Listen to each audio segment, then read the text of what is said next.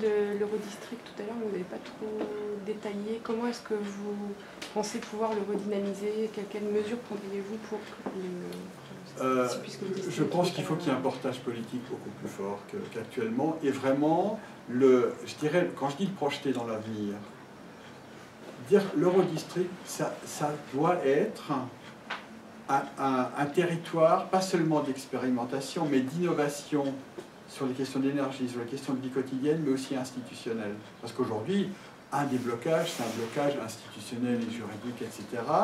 Et je pense que de part et d'autre du Rhin, nous devons interpeller nos institutions centrales pour dire comment est-ce qu'on va expérimenter euh, quelque chose qui va aller de l'avant parce que que ce soit sur l'ensemble des eurodistricts de ce type-là, il y en a un certain nombre d'autres, tout cas je pense euh, entre ce qu'il y a sur le nord, ce qu'il y a à Bâle, euh, ce qu'il y a à la frontière italienne, il y a aujourd'hui cette, euh, comment dire, je crois que c'est une responsabilité particulière sur l'agglomération strasbourg d'expérimenter ça parce qu'on a un potentiel.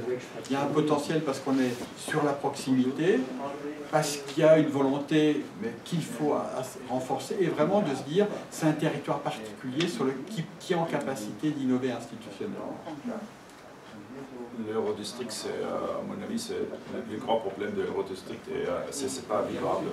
À Offenburg, personne ne comprend euh, qu'est-ce que c'est ça, l'Eurodistrict. C'est quelque chose d'administratif, mais c'est pas nous, c'est pas pour nous, c'est pas pour les citoyens. À Kiel et à Strasbourg même, directement, c'est plus vivable. On sent le problème, on sent le, le, transfrontalier. Le, le, point de vue des Kielois ou de Kiel, c'est aussi, euh, il faut travailler sur un sujet que, pourquoi ça c'est, à Kiel on a, on plus en plus de peur de français. Pas qu'il achète euh, notre, notre appartement euh, très cher, plus cher. C'est aussi le grand problème avec le tabac, le, choc de, magasin de tabac et tout ça. Ça, c'est vraiment un grand, grand, grand problème pour, les Kielois, travailler ensemble avec les Français. Et, et euh, l'autre donc je, je parle qu'un Kélois, pas qu'un verre aussi, un mais euh, c'est... Non, non, c'est vraiment un grand problème euh, parce qu'à à Kiel, on dit Strasbourg, c'est Strasbourg, nous sommes nous et les frontières là. À mon avis, non, c'est pas là, pas encore, nous sommes partenaires. Et beaucoup de sentiments de Kélois sont nous sommes de temps en temps, au plus en plus, des banlieues de Strasbourg, dirigées, euh, de, de, de, mairie de Strasbourg et pas de notre, notre mairie. On a vu ça, l'élection de notre maire ici. Euh, si euh, maintenant c'est M. Vetrano, il dit je suis le maire pour il y a une question, est-ce que vous parlez français au cause de, français? Il dit, oui, je parle, mais je suis maire de Kiel et pas de Strasbourg, donc ce n'est pas euh, évident. Et tout le monde a, applaudi. Donc, mais c'est dans la cœur, dans, euh, dans la euh, au cœur, c'est vraiment un peu de peur de Strasbourgeois, de Français ensemble. Et c'est notre travail. Je veux travailler ensemble avec les Strasbourgeois. En général, je veux travailler avec les Verts, bien sûr, ça c'est mon parti, euh, à faire une solution de ce problème.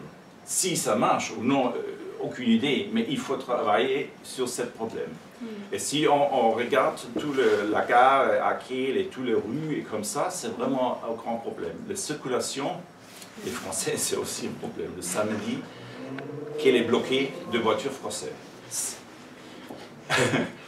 euh, mais je ne, beaucoup de, citoyens qui disent on arrête, on fait une frontière euh, tous les samedis. Samedi. Mais ce n'est pas notre solution, il, faut, il faut diriger euh, à l'envers.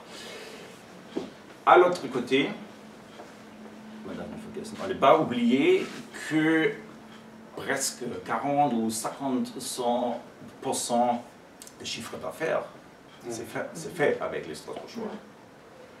Donc c'est vraiment un grand problème. Nous, nous ne voulons pas le français, mais si pour l'argent, oui.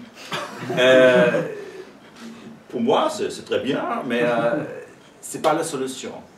Et il faut, dans mon point de loin, je dois travailler sur ce sujet aussi, parce que seulement dire, oh, oh, avec les verts de Strasbourg, tout va bien, et comme ça, c'est contre moi, et pas seulement moi, notre groupe de verts. Et ce n'est pas notre inspiration. On a notre inspiration. Nous sommes partenaires, les verts de deux côtés, les villes de deux côtés. Et c'est bien pour ça que nous parlons beaucoup de coopération transfrontalière et pas de concurrence des territoires. Je crois que pour nous, c'est quelque chose qui est essentiel. C'est-à-dire, on est sur de la coopération euh, transfrontalière, pas sur de la compétence ou de la concurrence entre les, les territoires. Et le fait qu'il y ait euh, plusieurs milliers de personnes qui partent d'un côté ou de l'autre de, la frontière fait que pour nous, il faut partir de la vie quotidienne. Il y a le symbolique qui est important, mais c'est partir de, la vie quotidienne. Donc vraiment cet élément de coopération. Et deuxième élément, et c'est bien pour ça qu'on, en tout cas, euh, qu'on, se félicite d'engager ce travail, de, poursuivre euh, ce travail commun entre les Grünen et les Verts de, de Strasbourg, c'est parce qu'on sait qu'on a des défis communs à relever. Et que euh, c'est aussi le fait qu'on ait des défis communs à relever qu'on va sortir des appréhensions qui est de chaque côté de la frontière. Il y a des appréhensions de chaque côté de la frontière. De l'autre côté, c'est la même chose en disant mais qu'est-ce qu'on va faire avec les Allemands? Moi, je l'aurais entendu sur un certain nombre de choses. Mais écoutez, euh, est-ce qu'on n'a pas euh, qu'on garde, enfin, qu'on garde, garde, notre budget chez nous? On, entend de, de, temps en temps ça. Et donc, notre responsabilité en tant que parti politique, euh, surtout dans un débat démocratique comme les municipales, de se dire bah, effectivement, il y a des appréhensions, il y a des questions, mais notre responsabilité, c'est comme la perspective européenne, il y a des crispations, et la vision qu'ont les écologistes d'Europe, c'est, euh, je dirais, une vision d'avenir, et qui fasse que euh, les frontières réelles et les frontières dans notre tête, ben, je dirais, progressivement s'amenuisent, parce qu'on sait qu'on est sur un territoire commun avec des complémentarités à ce que disait Jürgen, ce que disait Jeanne avant. Euh, quand on a, on a, rencontré les entreprises il y a un mois et demi à Krone, on a rencontré un certain nombre d'entreprises, ce que disaient les entreprises quéloises, c'est que, euh, ben, je dirais, nous, on à la recherche de main-d'œuvre.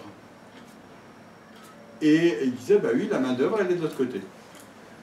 Et donc comment on peut faire pour qu'à la fois euh, les, les, enjeux de demandeurs d'emploi du côté strasbourgeois euh, puissent aussi répondre aux besoins de main-d'œuvre qu'il y a de ce côté-là de, qu'il y a de, ce côté de la frontière.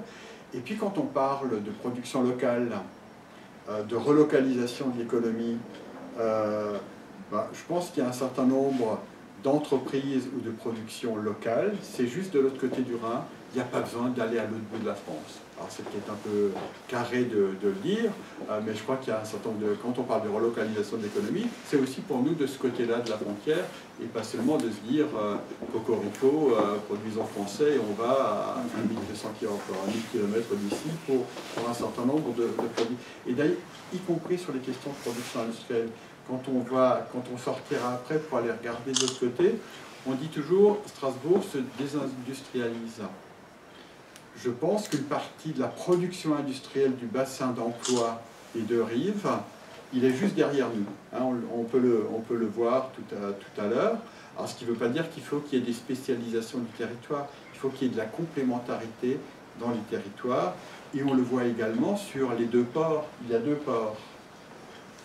La collaboration entre les deux ports, là aussi, de notre point de vue, elle est insuffisante. Comment on peut trouver de la coopération entre le port de Strasbourg et le port de Kiel, euh, ce qui ne veut pas dire avec ce que, euh, ce que dit Jürgen, ce qui me semble, ce qui me semble important, il ne faut pas qu'il y ait de l'absorption.